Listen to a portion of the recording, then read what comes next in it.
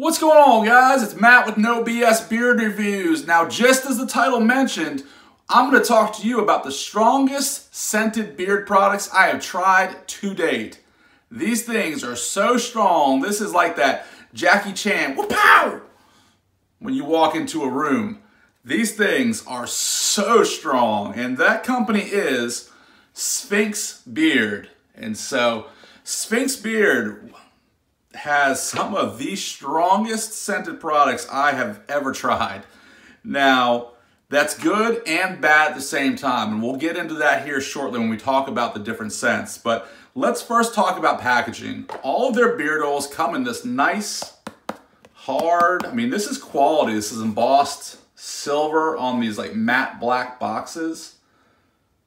There's definitely some money into this. You can see the presentation there. They got the beard oil, these nice little hang tags for the actual oil. Comes in that kind of squarish bottle. And then the beard balms come the exact same way. Nice little packaging there. Got some crinkle cut black paper. And so the oils each go for $24.99. So 25 bucks for a one ounce oil. You've also got 25, what is it, 18.99 to 21.99 depending on the scent for the two ounce balms. And then I also got my hands on some of their shave soap. Shave soap goes for $20 for a four ounce container. And so let's jump in. As I mentioned, this stuff is super strong, kicks you in the nose. I should probably say punches you in the nose since I got the fist going. You don't want to see me get my legs up here, and pull that high kick. All right, so let's go into the different scents here. Let's first go and I'll show you the oils. Ingredients are gonna be medium chain triglycerides, organic castor oil, organic moringa oil, organic marula oil, frankincense essential oil, organic hemp oil, ginger essential oil, and coriander essential oil. So some oils we're not used to seeing in beard products there. Let me go ahead and get up close. Now, one gripe I have, um, I love the fact so all of their bottles have the exact same label on them, and they have these little hang tags to tell you the different scent. And then on the back, I mean, this is really nice. The way they've done this is really top quality. My only gripe with this little tag, while it's very cool, when I'm pouring the oil out, I often find it gets in the way. Um, so might advise you to take those off, but if you've got multiple scents like I do, it's kind of hard to tell, you know, what you got going on. So the first one we're going to take a look at is Black Desert. Here we got Black Desert. And so Black Desert is inspired by Gorgeous by Kilian Black. It's, I read that wrong. It is Gorgeous by Kilian Black Phantom. Got all my notes here. Uh, it's a gourmet treat of sensuality and passion. Dark chocolate notes decorated with roasted coffee are joined by slightly boozy caramel drizzle, creating a stunning final aromatic picture that will leave you dizzy and breathless. Be warned, people will be magnetically drawn to you when you wear this masterpiece. So that's their marketing for this. So the notes on this are going to be rum, caramel, dark chocolate, and coffee. These are very, very exquisite scents. This is, to me, this kind of smells like a dark, spicy rum. You don't get an alcohol bite there. You get that caramel from the rum, kind of. This was a good one. This was a, just a very laid back, it's very warming. This sounds like something you would wear by a, a warm fire, kind of. You get a little bit of the chocolate and a hint of the coffee. It's not overly coffee. It just kind of adds to the sophistication. Sophistication. All right, that is Black Desert. That is a good one. Next up, we have Apotheosis. And so Apotheosis is oud, fruity, floral, and ambergris. And so Apotheosis is inspired by Xerjoff's More Than Words, will transport you to the lofty realms of pleasure and delight.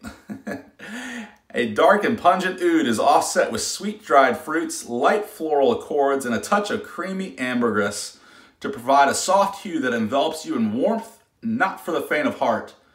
It's the smell of confident determination. And so, as I mentioned, the notes are oud, fruity notes, floral notes, and ambergris. This is a nice mellow one. The, you really get a lot of floral in this. It's just very, it's on the sweeter side. Um, you kind of get those floral and fruity notes, kind of the top notes that hit me. And the oud just kind of mellows things out. This is one I actually liked as well. Ah, it's a good one. It is strong though, man. Just, it, my nose is kind of giving me a, a, little bit of a headache just smelling it just like that. And that's with, with some of these, as I mentioned, they are so strong. Now, there was one scent, um, the next scent I'll actually talk to you about, where I put it on, I put the oil and the balm on, I was getting ready to go kiss my wife goodbye in the morning before work, and she was like, whoa, whoa, whoa. Like, I could smell you coming down the stairs. What is that? It's way too strong. Um, so be wary of that. Some of these are very, very strong. The one I was just smelling, it, it kind of hurts my nose for a little bit. You kind of definitely will go nose blind pretty quick with these. Um, but again, these are, you walk in the room, everyone's going to be like, you know, what is that smell? And so if that's your thing, go for it. Sphinx is a great company. The oil quality is awesome. It's a, a good light to medium weight oil. Um, next up, we'll talk about La Frankenschule. Not sure if that's how you pronounce it, but I'm going to go with it. Uh, La Frankenschule is inspired by Creed's best-selling Aventus, popping with juicy pineapple and fruity black currant, balanced with smoky birch and soft musk, and rounded out with that classic Creed ambergris. You'll feel like a king among men when you wear this scent. And so the notes on this bad boy are to be Fruity notes, citrus, aromatic, and salty. So it's pineapple, birch, musk, black currant, currant, and ambergris.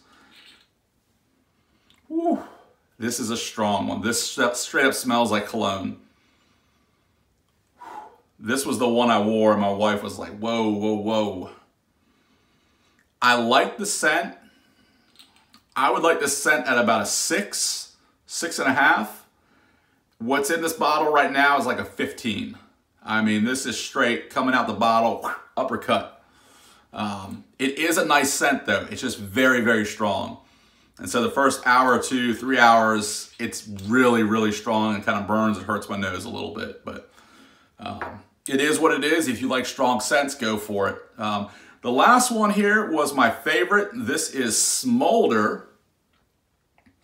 Um, Smolder here is, let's see, Smolder is an original creation that burns low and hot with an intoxicating blend of dark oud, roasted coffee, and sensuous leather. A bit of sweet saffron, soft jasmine, and creamy vanilla add a rich softness to the bouquet. This is a fragrance that begs for a close encounter. So the notes on this one are going to be oud, coffee, leather, saffron, jasmine, tonka bean, vanilla, vanilla, vanilla, and sandalwood. And that all creates, oh, this is a good one. This is my favorite of the bunch. Oh, it's just, this is a, uh, this reminds me of my younger days when I lived up in DC and we'd go out clubbing on Friday and Saturday nights. What was the big club we went to downtown DC? Oh, what was it called? Like Love or Heart or something? I don't know. It's this huge club. This reminds me of the smell of all the dudes in there. It's just an overly, it's smooth. It's smooth, manly. It's definitely a PM scent. This is something you'd want to wear out on a good date with your significant other. I like Smolder. Smolder is a great, great scent. This would be my recommendation out of the four that I have to try would be Smolder.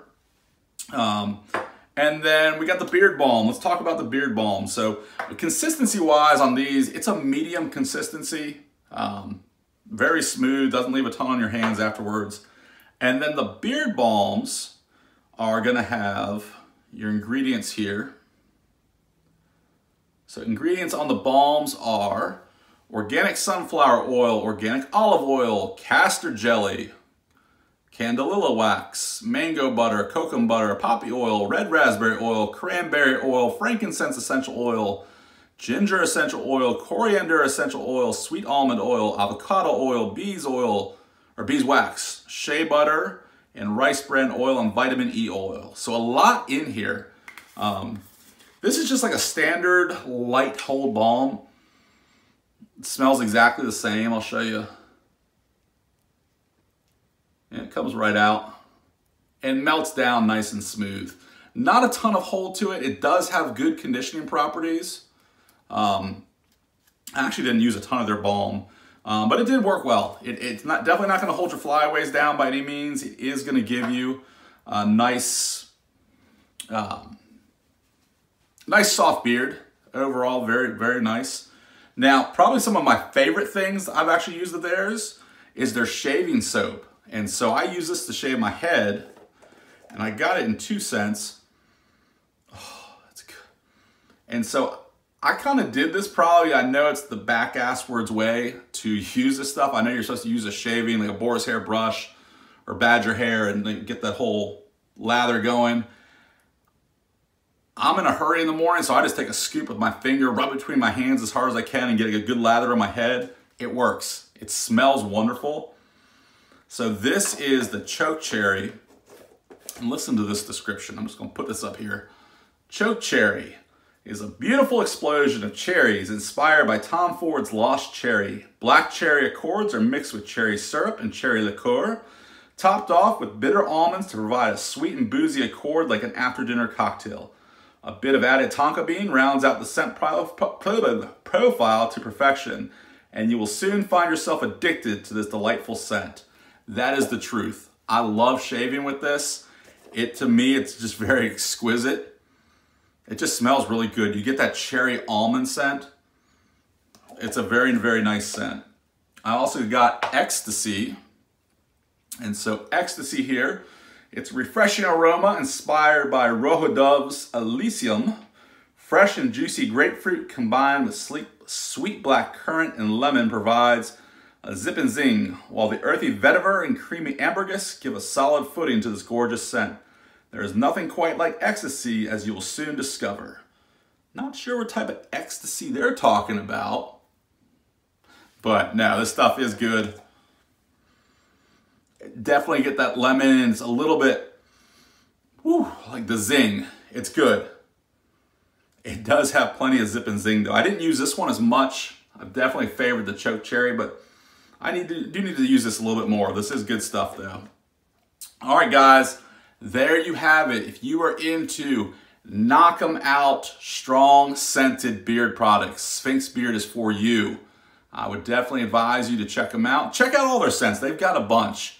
A lot of them are cologne inspired. They've got a few originals as well, but all good stuff. I would have no hesitation recommending this company.